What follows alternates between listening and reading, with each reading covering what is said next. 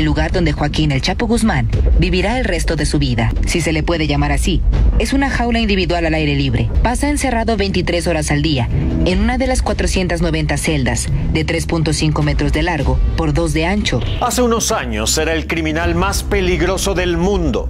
Hoy está condenado a pasar el resto de sus días en la prisión más segura del planeta, la prisión de super máxima seguridad, Aidex Florence, también conocida como el Abismo Rocalloso, es donde hoy vive Joaquín Guzmán el Chapo y es considerada como el sistema de seguridad penitenciario más sofisticado del mundo ya que está diseñado para que todos sus reos tengan el menor contacto posible con los humanos. La cadena de noticias Milenio visitó el lugar donde hoy se encuentra recluido el narcotraficante más polémico de las últimas décadas. Y esto fue lo que encontraron.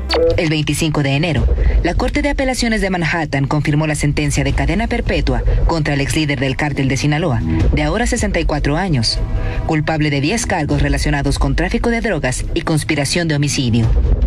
El Chapo vive aquí desde 2020 y desde entonces pasa encerrado 23 horas al día en una de las 490 celdas de 3.5 metros de largo por 2 de ancho.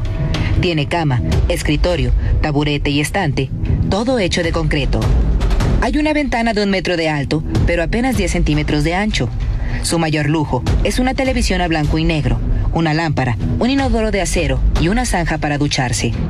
Las paredes son insonorizadas, lo que le impide tener comunicación con otros reos.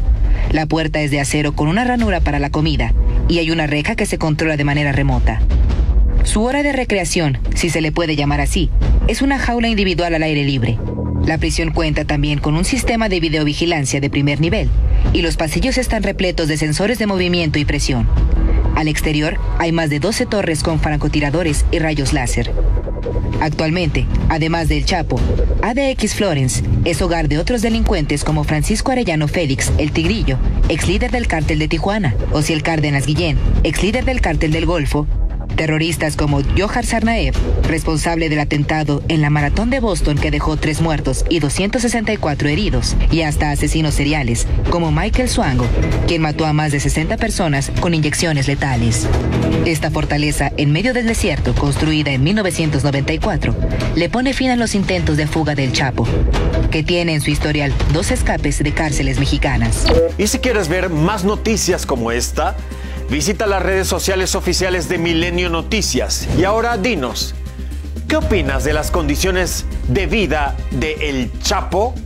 Escribe tu respuesta en los comentarios y comparte este video con todos, absolutamente todos tus seres queridos.